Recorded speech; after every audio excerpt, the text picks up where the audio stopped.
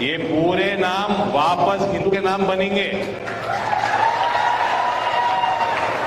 ఈ షకీల్ని పక్కకు పెట్టుండ్రి కాంగ్రెస్ పార్టీ కూడా ఏం చేయలేదు షకీల్ అజెండానే కాంగ్రెస్ పార్టీ మోస్తుంది యాద పెట్టుకోరి బోధన వాళ్ళంతా షకీల్ బీఆర్ఎస్ ఏదైతే అజెండా ఉన్నదో కాంగ్రెస్ పార్టీ కూడా మోసేది అదే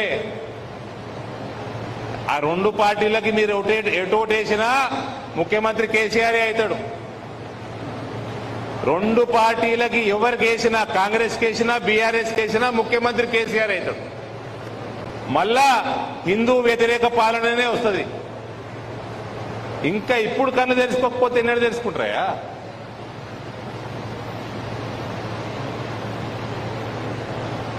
నిజాం షుగర్ ఫ్యాక్టరీ. ఎవడు తెలిసిండు ఎవడు మూసిండు? ఇండిపెండెన్స్ రాకంటే ముందు తెరవడ్డది అది. కాంగ్రెస్ వాడు మూసిండు.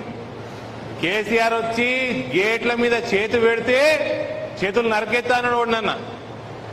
సరే ఎవరు ఆంధ్రోళ్ళకి ఇచ్చిర్రు తిప్పలు పడకుండా నడిపిండు చె- చెరకంతా పెరిగింది చక్కెర ఫ్యాక్టరీ నడుస్తా ఉన్నది. తెలంగాణ ఉద్యమం అని దొంగ కేసీఆర్ లఫంగ కేసీఆర్ వచ్చి ఆంధ్రోడ్ ఆంధ్రోడ్ అని బంద్ చేపించి ఆంధ్రోడ్ ఆంధ్రోడ్ అని బంద్ చేపించిండా లేదా?